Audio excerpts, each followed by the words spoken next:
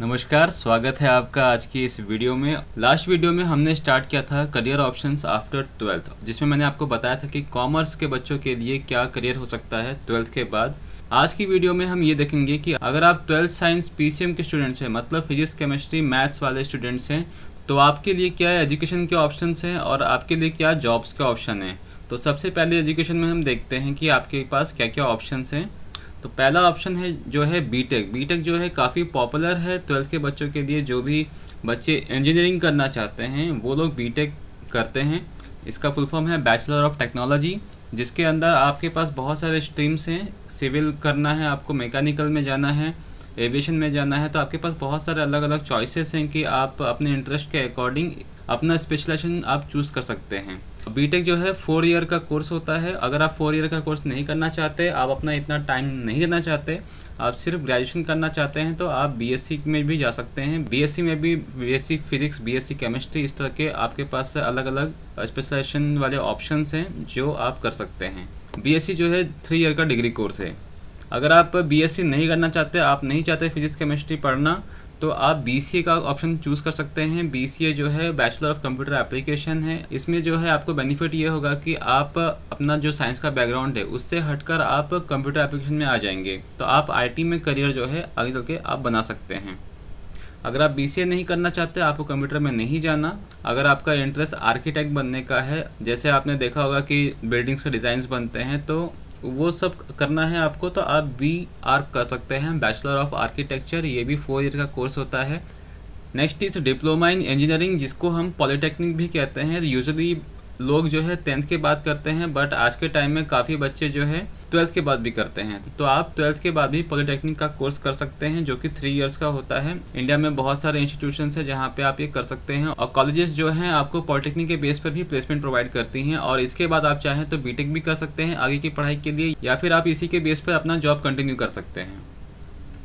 Next is ITI ITI भी जो है पॉलिटेक्निक जैसा ही है, जिसको आप टेंथ के बाद या फिर ट्वेल्थ के बाद कर सकते हैं। इसमें भी आप अलग अलग एरियाज़ होते हैं। फिटर बनना है आपको वेल्डिंग का काम करना है डेटा एंट्री ऑपरेटर का काम करना है। तो इस तरह के जो है कोर्सेस हैं, ये जो है थ्री इयर्स का होता है और ध्यान रखिए, अगर आपका स्पेशलाइजेशन आई में वन ईयर का है तो आपको टू ईयर्स की ट्रेनिंग करनी पड़ेगी, जिसको अप्रेंटिसशिप कहते हैं।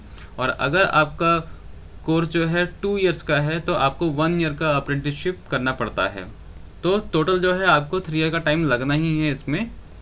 नेक्स्ट जो है डी या फिर डी लास्ट वीडियो में मैंने ऑलरेडी बताया हुआ है कॉमर्स के स्टूडेंट्स के लिए कि अगर आपको स्कूल में एंट्री करना है तो आप डिप्लोमा इन एजुकेशन या फिर डिप्लोमा इन एलिमेंट्री एजुकेशन का कोर्स कर सकते हैं। ये टू इयर्स का होता है, जिससे कि आप स्कूल में जो है प्राइमरी टीचर बन सकते हैं और बाद में जो है आप आगे चलकर बीएड भी कर सकते हैं। फिर जो है ऑप्शन हमारे पास आईएल्स का है। IELTS international English language testing system अगर आप स्कूल के बाद अब्रॉड जाना चाहते हैं, आप अदर कंट्रीज़ में पढ़ाई करना चाहते हैं आगे के लिए तो फिर आप आईएल्स का एग्ज़ाम दे सकते हैं। ये कुछ ऑप्शंस थे एजुकेशन के ऊपर। अब हम देखते हैं कि जॉब्स में आपके पास क्या क्या ऑप्शन हो सकते हैं।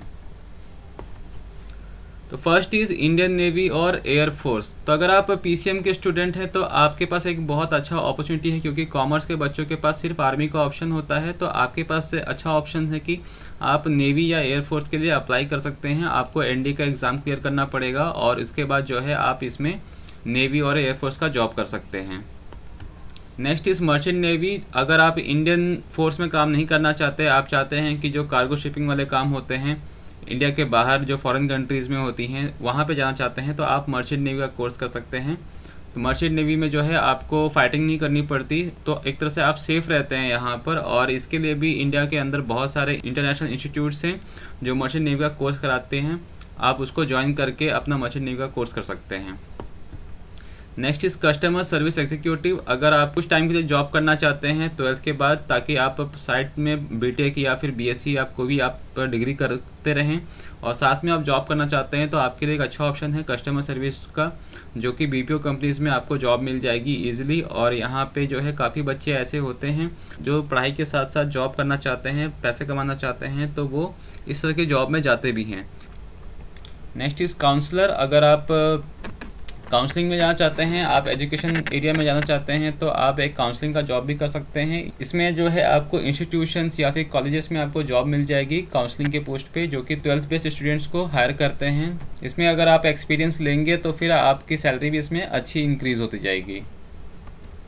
नेक्स्ट रिक्रूटर का काम। रिक्रूटर का काम जो है कंपनी के अंदर एम्प्लॉय को हायर करना होता है तो अगर आपका कम्युनिकेशन अच्छा है तो आप ट्वेल्थ बेस पे रिक्रूटर का जॉब कर सकते हैं और आप अगर कंपनीज़ में काम नहीं करते हैं तो आप जो रिक्रूटमेंट कंसल्टेंसीज होती हैं या फिर एच आर कंसल्टेंसीज होती हैं, वहाँ पर आप काम कर सकते हैं और आगे चल के आप एच आर का प्रोफ़ाइल में जॉब कर सकते हैं। नेक्स्ट इज़ रिसेप्शन तो रिसेप्शनिस्ट का काम जो होता है, जैसे किसी भी होटल में जाते हैं, आप वहाँ पे एक रिसेप्शन होता है कॉरपोरेट कंपनीज़ में भी रिसेप्शन होता है। तो आप चाहे तो वहाँ पे भी जॉब कर सकते हैं। इसमें मोस्टली जो है आपका डे शिफ्ट ही होता है। सबसे बेस्ट चीज़ यही है, क्योंकि दिन के टाइम में ही ज़्यादातर लोग आते हैं। तो आपका काम जो है रिसेप्शन को संभालना होगा। रिसेप्शन का जो एरिया है, उसको मैनेज करना होगा। उसकी सारी रिस्पॉन्सिबिलिटी जो फ्रंट डेस्क का होता है, वो सारा कुछ आपका होगा। नेक्स्ट इज़ ट्यूटर तो आप के पास कोई सब्जेक्ट का नॉलेज अच्छा है? फॉर एग्जांपल आप केमिस्ट्री में आप बहुत स्ट्रांग है, आपका नॉलेज बहुत अच्छा है तो आप ऑनलाइन ट्यूटर बन सकते हैं या फिर आप होम ट्यूशन भी दे सकते हैं। तो ये आपके पास चॉइस है। आजकल ऑनलाइन प्लेटफॉर्म बहुत सारे हैं यूडेमी जैसे या फिर यू एन अकेडमी जैसे, जहाँ पर आप ऑनलाइन ट्यूटर के लिए रजिस्ट्रेशन कर सकते हैं और आप अच्छे खासे पैसे कमा सकते हैं। तो ये कुछ ऑप्शंस हैं। ये लिमिटेड ऑप्शंस मैंने यहाँ पे बताए हैं आपको। करियर अपॉर्चुनिटीज़ बहुत ही हैं आप लोगों के लिए बट लोगों को आइडियाज़ नहीं होते हैं कि क्या करना है तो ये मैंने जस्ट आपको एक आइडिया लग जाए कि हाँ आपके पास किस तरह के वैराइटीज़ ऑफ़ ऑप्शन है जो आप सेलेक्ट कर सकते हैं अपने करियर को आगे बढ़ाने के लिए। तो आज की इस वीडियो में इतना ही। नेक्स्ट जो वीडियो होगा हमारा, उसमें हम ये देखेंगे कि जो पीसीबी के स्टूडेंट्स हैं फिजिक्स केमिस्ट्री बायो के स्टूडेंट्स हैं, उनके लिए क्या करियर ऑप्शंस हैं। और मैं चाहूँगा कि आप ये वीडियो जो है अपने दोस्तों से भी शेयर करें ताकि उनको भी इसके बारे में जो है इन्फॉर्मेशन मिले कि उनके पास क्या करियर ऑप्शन हैं। और अगर अभी तक आपने ये चैनल सब्सक्राइब नहीं किया है तो नीचे एक सब्सक्राइब का बटन दिया हुआ है। प्लीज़ उसे क्लिक करें और बेल आइकन प्रेस करें ताकि जो भी न्यू वीडियोज़ अपलोड हों, आपको उसकी इन्फॉर्मेशन नोटिफिकेशन के थ्रू मिल जाए। एंड आज की इस वीडियो को देखने के लिए आपका बहुत बहुत शुक्रिया।